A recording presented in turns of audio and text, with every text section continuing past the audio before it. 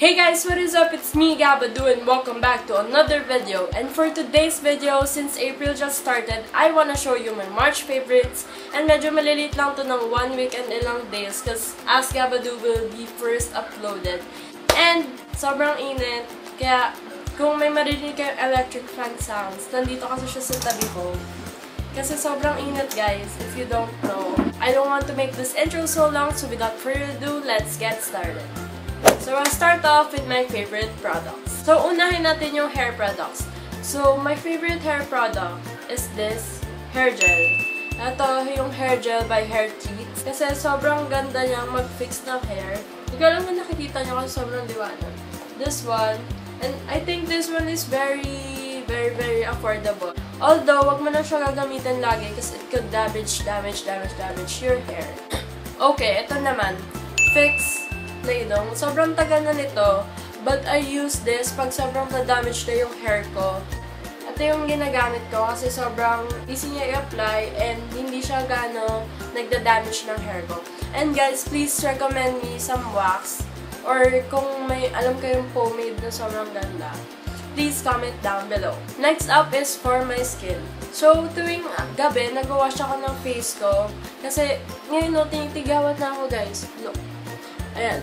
Litigawat na ako. See? And every night, ito yung ginagamit kong pang-wash ng face. Sobrang ganda niya kasi dalawa yung purpose sa skin ko. Una, nagda-dry up siya ng pimples. And second, it whitens my skin. So, I only use this on my face. But sometimes, siguro pag sa katawan ko, pag maitim na ako. And this one is really affordable kasi meron siyang ito, 72.50 and it has 3 bars. At ito, 50 pesos and it has 2 bars. So, yung difference nila is like 22 pesos lang. And isa pang gusto kong skin product is itong Eskinol. Eskinol is really useful, lalo na ito yung final stage. After ko mag-wash ng face, di ba hindi pa naman ako matutulog nun? Parang mag-stay lang ako sa bed ko, magpo-phone.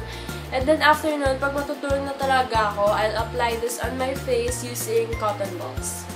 So yeah, and let's move on to my favorite beverage. This one is my favorite, favorite, favorite all-time drink, which is the Del Monte Four Seasons. Very particular ako sa Four Seasons. Gusto ko din yung pineapple, pero ito talaga yung favorite ko. And meron pa akong favorite yung mango. Wala lang ata kaming stock nun ngayon. And now, I'll move on to my favorite things to wear. I'll start off with my favorite shoes. So, oh my god. So, oh my god. So, oh my god. This one is my favorite shoes. This one is from Sperry and it's from my dad. Yan. Medyo gamit na gamit na siya. This comes in color brown. And sobrang dali lang nito. It's so super comfy.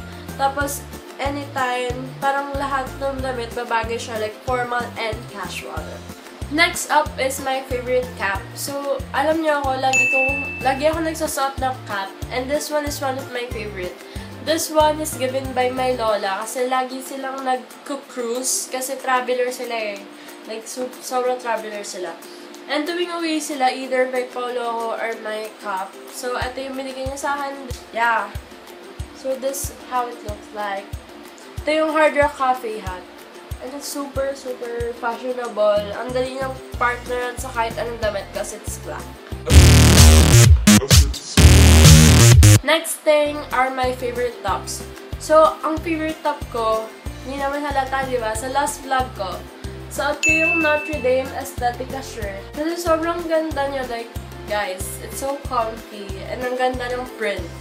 So, sa unahan, meron siyang Notre Dame, and then logo ng Notre. And then at the back, yung mga Notre Dame na branch. Okayama, Nelson, CA, Cotabato, Caloocan, California, USA, Indiana, ganun. And lastly, since sobrang inat na, I always wear shorts. Yung iba, binili ko, yung iba, parang nahanap ko lang sa closet kasi baka nabili ko sila tapos hindi ko na nagamit or binigay lang siya ng cousin ko. I'll start off with this shorts from Zara. Sorry, lakot-lakot siya. This one is from Zara Boys. Yeah, Zara Boys. I don't know kung kayo na galing to or binili ko siya. But this one is super nice kasi may stripe siya na blue and white. And it's so, uh, sobrang pastel niya. And what I do, kasi mahaba siya, I'll fold it thrice or twice. Next up, ito nahanap ko din to sa closet ko. This one is from, this one is from H&M. Ito nahanap ko lang siya. And this one is like my favorite color this month or this year. Ito yung army green or moss green, I don't. But ito rin, pinafold ko rin siya and sobrang ganda ng material niya. Another one is, I think bigay ito ng cousin ko. This one is from Gap. Ito siya. Another color, moss green or army green. Kasi ito favorite ko din siya and I fold it at the bottom then mga twice or thrice.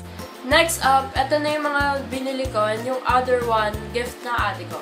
So this one is from Straightforward. I think this one is steel with a ribbon color yellow. And kung naalala nyo dun sa what I got what I got for Christmas vlog ko, nagbigay yung sister ko ng straightforward na shirt and it comes in color burgundy. And hindi ko na siya mapakita sa inyo ngayon kasi nasa labahan ata siya. And before I forget pala, one of my favorite sunglasses, kasi di ba sobrang init na.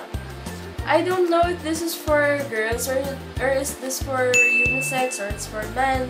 But this one is from my grandparents. Ito, Ray-Ban. Ito yung lalagyan niya. And this one is the shades. Yan, parang medyo vintage look siya. That one, and a Ray-Ban. I don't know if you can see it, but it says Ray-Ban. So, yan.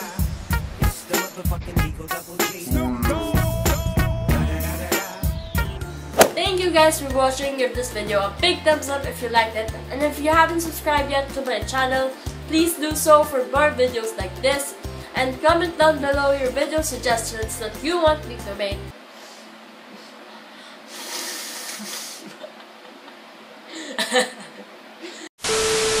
and comment down below your video suggestions that you want me to make.